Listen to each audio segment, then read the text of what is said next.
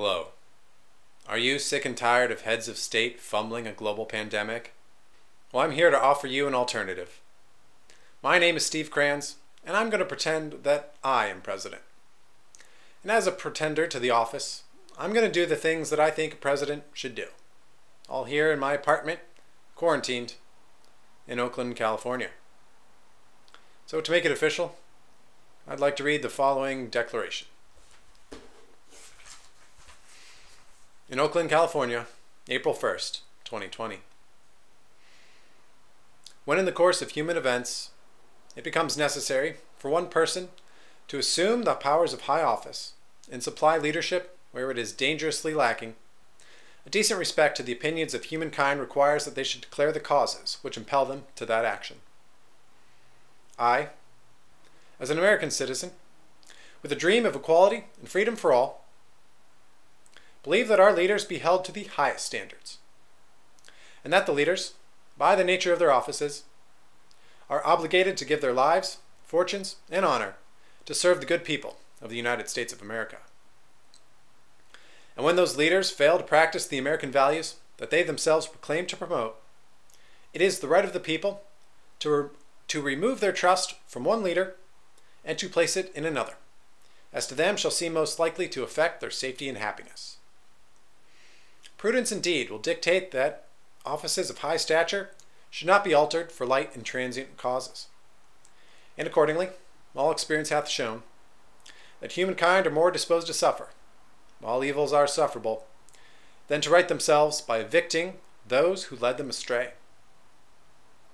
But when a long train of unapologetic offenses, pursuing invariably selfish promotion, evinces a design to reduce them under absolute stupidity, it is their right it is their duty to throw off such leaders and to provide new guards for their future security. Such has been the patient sufferance of these states, and such is now the necessity which constrains them to exchange their former leaders of government. The history of the current President of the United States of America is a history of repeated injuries and usurpations, all having in direct object the disestablishment of a peaceful and prosperous union. To prove this, let facts be submitted to a candid world. He has dispensed lies to the American public on all sorts of matters, from trivial to gravely serious. His lies have been so overwhelming, have been so overwhelmingly numerous and dense that they cast the shadow of doubt on even the most innocent of statements. He has caused innocent children to be jailed separate from their parents in a, and in appallingly poor conditions. He has incited domestic agitation through his language and rhetoric designed to alienate minority populations. He has displayed a total lack of ownership of the most critical problems addressed to his office.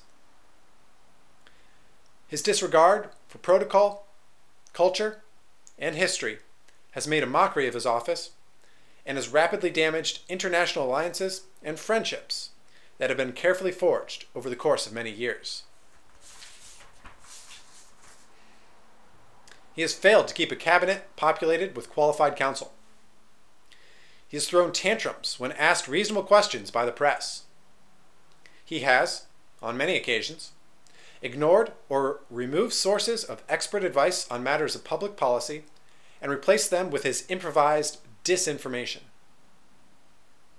His vision of the world is so narrow and self centered that he has no capacity to recognize the general needs and concerns of the nation. He has refused to acknowledge the real crisis of global climate change and has actively worked against the consensus of the scientific community. He has feuded with states and territories of the Union while they were struggling to contain the effects of severe natural disasters. He is, at this time, failing to comprehend the scope and the scope of and take decisive action against a global health crisis that threatens the lives of the people he has sworn to protect. In every stage of these oppressions, American people have petitioned for redress in both humble and vocal terms. Their repeated petitions have been answered only by repeated injury. A president whose character is thus marked by every act which may define a toddler is unfit to be the ruler of a free people. Nor have we been wanting in attention to our legislative officials. We have warned them from time to time of attempts of the President to promote dishonorable leadership over us. They have failed to fix the problem through established protocol. I, therefore, Stephen James Crayons, in quarantine, alone, appealing to a candid world for the necessities of this action, do, by the authority of my word, afforded by the First Amendment of the United States Constitution, and, if the good people of the United States of America do agree and oblige, solemnly publish and declare that I am the 45th and a half President of the United States of America.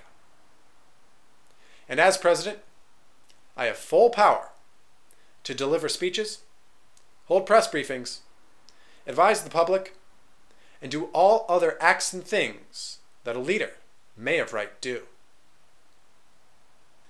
And for the support of this declaration, with a firm reliance on the protection of divine providence, I pledge my life, my fortune, and my sacred